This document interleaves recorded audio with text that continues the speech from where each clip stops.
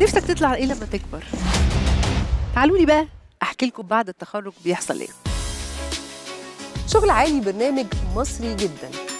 هنكشف أسرار لأول مرة بتعرفها عن كل شغلانة لحظات وهيكون معاك أحد ممثلي خدمة العملاء. دي كدبة. في فرق كبير ما بين القائد والمدير. هو الشخص الوحيد في المؤسسة اللي عنده الجرأة إنه يكسر القواعد. اتكلمنا كتير نفكر شوية بقى. إزاي هتختار تطلع السلم سلمة سلمة وأنت شايف اللي جنبك بيطلع في الأسانسير؟ تلقي الاستقالة ظاهرة محتاجة دراسة. إحنا هنشوف في حياتنا أنواع من الناس في الشغل. والصنعة الحلوة يا غالي دايما بنقول عليها شغل عالي. شغل عالي قريبا.